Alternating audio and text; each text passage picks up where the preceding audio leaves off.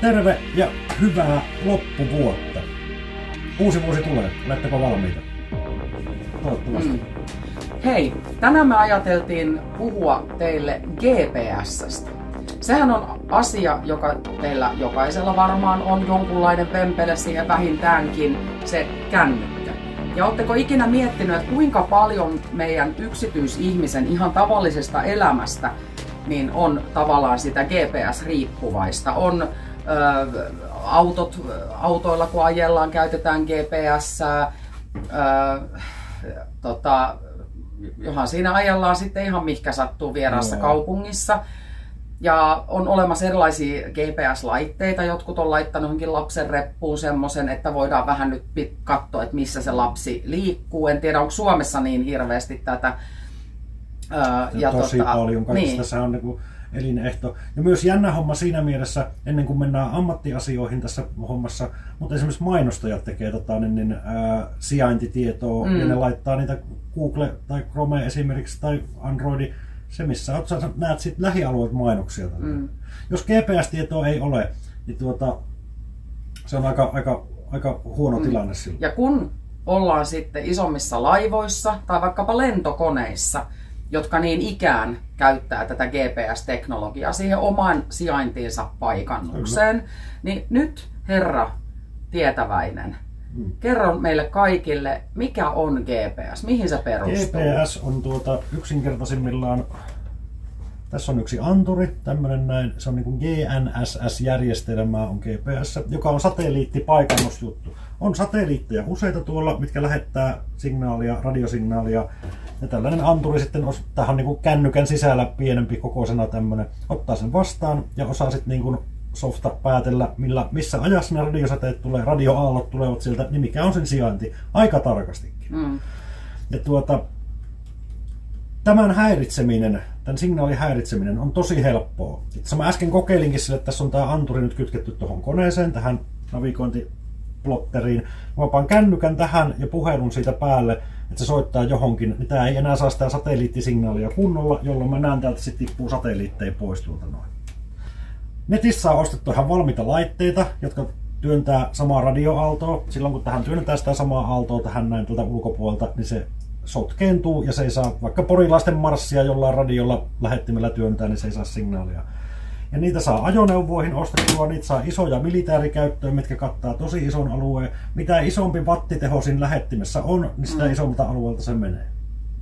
Poikki. Mm. Se on äärimmäisen helppo häiritä toi homma. Vähän kyllä niin kuin yllättävän helppo. Ja sinne voi syöttää jopa, mikä on harvinaisempaa, mutta siihen voi syöttää läheltä niin kuin vierasta tietoa. Eli kun satelliitista tulee tietty tieto, niin jos se manipuloidaan se tieto, niin silloin esimerkiksi laivan sijainti on ihan eri paikassa. Ja laivan navigointihan toimii sen verran tästä, äh, sanon vielä tähän, niin tuota, äh, plotterit, nämä kaikki karttasysteemit, nämä nojaa hyvin paljon tuohon GPS-tietoon. On olemassa hyrräkompasseja kompasseja ja muita tällaisia, mitkä auttaa siinä, mutta se GPS on monesti hyvin tärkeä asia. Jos se tosiaan häviää, niin näille ei tee mitään näillä laitteilla. Mm. Ne niin kuin, ei tiedä sijaintia eikä mitään. Mm. Ja autopilotti, mikä ajaa esimerkiksi automaattisesti ohjelmoja joku reitti johonkin, jos se manipuloidaan se signaali sivulle jonnekin, niin sehän menee kiville se paatti. Tai sitten jos se häviää, niin toki se piippaa sitten niinku sille, että nyt ei ole signaalia ja siihen kerkee reagoimaan. Vaan hankalinta on se, tai vaarallisinta, että se manipuloidaan. Silloin sitten ei ehkä huomaakaan, että se on niinku mm. kukaan siellä. Silloin se menee sivuun. Niin. Ja tämä esimerkiksi tämä ICE-sijainti, mä en tiedä näkyykö tässä nyt, kun me nähdään tästä koko ajan, niin kuin missä on muita aluksia. Niin on, täällä näkyy. Ja äh, tuota, silloin nehän perustuu tähän samaan GPS-teknologiaan, myös Kyllä. tämä AIS-systeemi. AIS toimii niin, että sieltä tulee tuota satelliitista, ää, täällä on vastaanotimella tuolla katolla, joka antaa sijaintitiedon tuolle AIS-pömpelille tuossa noin, mikä lähettää VHF-taajuuden kautta sen lähellä oleviin aluksiin. Ja nyt jos meidän sijaintitieto on väärä tai sitä ei ole, niin se ei sitä pysty lähettämään. Eli me ei nähdäkään, meitä ei näy ja me ei nähdä sitten vastaavasti muita aluksia, mitkä täällä menee. Eli tämä AIS-järjestelmäkin kaatuu niin kuin siihen, jos mm. kepsiä ei ole. Mm.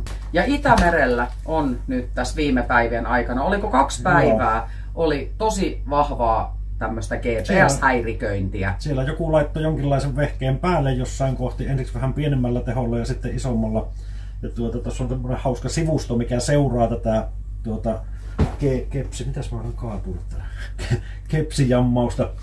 Ja tota, Jammausta, niin, se on jamming, jamming. Niin on, niin, Niin. no se jää jammaa siellä. Niin. Ja tota, niin, niin, siinä näkyy hyvin, kuin isolle alueelle se ylettää wattimääriä. En osaa sanoa, mikä se mm. teho siinä on ollut. Mutta siellä näkyy myös yksittäisiä pisteitä myös, mi- missä on niinku pienempiä häiriölaitteita. Ja sitten tuo Itämeren homma, tota, joo, laivoilla on hyrräkompasseja ynnä muita, mitkä pitää sen kurssin kyllä tälleen, mutta on se aika iso homma. Ja on ollut muutama onnettomuuskin siitä, että kepsiä ei ole. Ja varsinkin mm. pienemmissä aluksissa hyrräkompassi on tosi kallis ja sen ylläpito vaatii jatkuvan sähkövirran. Pienemmissä aluksissa yleensä sitä ei ole. 230 volttia jatkuvana. Ja silloin nojataan aika paljon näihin GPS-pohjaisiin juttuihin. Niin. Ja kyllä se on huonossa kelissä, jos menee jossakin, vaikka ei ole maisemanavigointia, et näe missä olet, häviää GPS-tieto. Aika kusessa on siis suoraan sanoen sinällään. Mm. Silloin pitää olla muita vaihtoehtoja siihen. Niin. Ja niitä on vähän, niitä on todella vähän niitä muita vaihtoehtoja. Ja siinä mennään aika, aikajanassa vuosikymmeniä taaksepäin, mistä löytyy se toimiva juttu. Mm. Ja esimerkiksi nyt ähm, Briteistä sieltä oli, äh, olivat laskeneet, että jos tämmöistä GPS-häirintää tapahtuu viiden päivän ajan, niin se taloudellinen tappio on 15 miljoonaa. Joo. Ja tämä on nyt vaan heidän, heidän osalta, heidän merenkulun liikenteen osalta. Jos ajatellaan, että Suomeen meidän tuonti ja vienti on, oliko nyt 96 prosenttia, tapahtuu meriteitse, niin, niin tota, kyllä siinä niinku taloudellisia tappioita on. Puhumattakaan, sitten on just tämä, Samuli mainitsi tästä kohdennetusta mainonnasta, siinä on sama tilanne. Niin jo. Mutta se ei liity tavallaan merenkulkuun, mutta siinä Mennään merenkulkuun takaisin. Joo.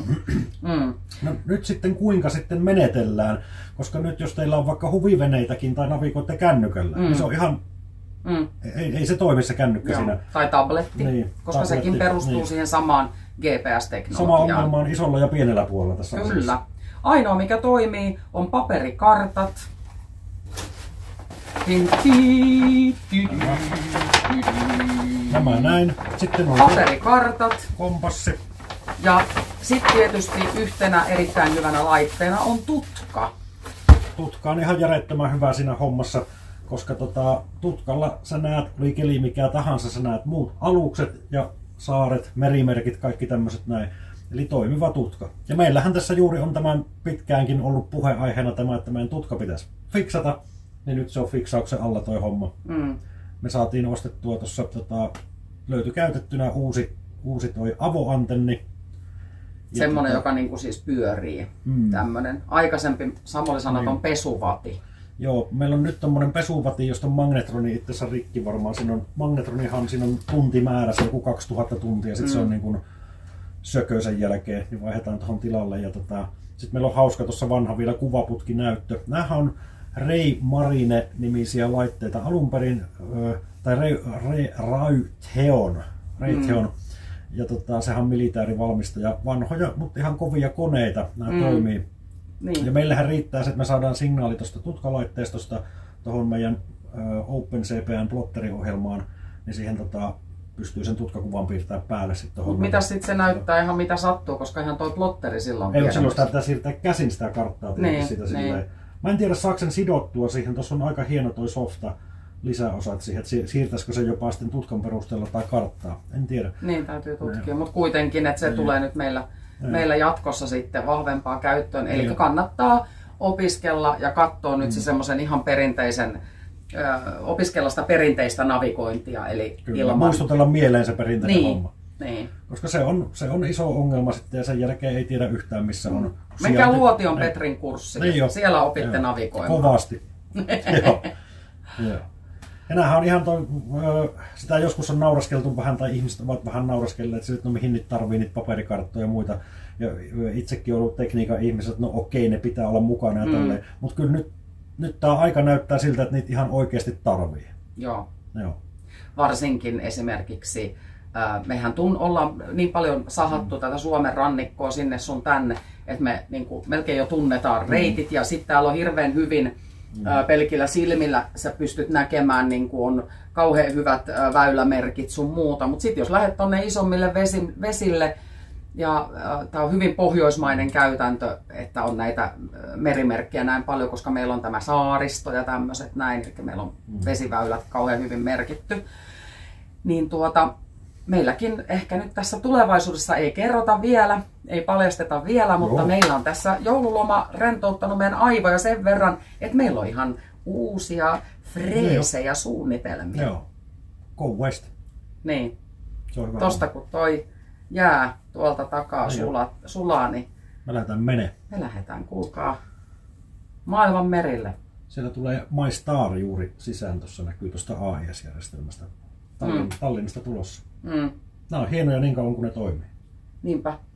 Se, että kenellä on intressejä tällaiseen häirintään, mm. ei me väitetä yhtään mitään. Te voitte jokainen miettiä sitten päissänne sitä. Tai jopa selvinpäinkin. sen Niin, sekin voi onnistua ihan selvinpäin tuohon itä, miettiä. itään liittyä. jo. Joo, nyt on hyvä aikaa, kuulkaa valmistautua ensi kesän veneilyihin ihan toiselta näkökulmalta. Kyllä, kyllä.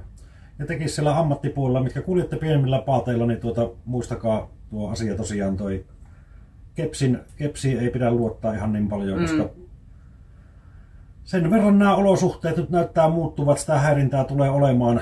Ja sitten sen verran on seurannut tota, mitä tuolla itärajan takana tapahtuu, miten paljon siellä häiritään, ja sitten tuolla sota-alueella siellä häiritään tosi paljon sitä, että se on ihan arkipäivää se häiriön tekeminen niin Mm. silleen. Niin Jos toi Itämeren tilanne rupeaa kiristymään hiemankin tuossa noin, niin kyllä sitä häiriö vaan rupeaa olemaan siellä. Ihan varma. Ja sitten oli semmoinen koe, koehäirintä ilmeisesti tuo, miten, miten isolle alueelle sitä saatiin työnnettyä sitä. Se, se ei ole temppu eikä mikään, sen pystyy melkein jokainen Matti Meikäläinen tekemään tuon häiriöhomman. Niin Mutta älkää tehkö. no ei teillä varmaan ole motivaatiota. Ja Hanitralla on synttärit tänään ja nyt silloin ne uudet nahkahousut. Kyllä niin on. Hienot. On niin, että sai synttärilahjaksi.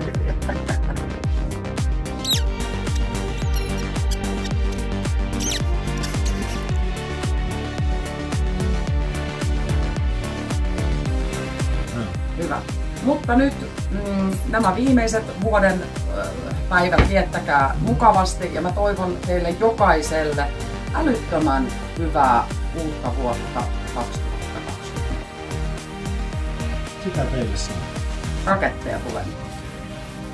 Joo. Ja visseli soi. Kello on 12. Hyy, piu,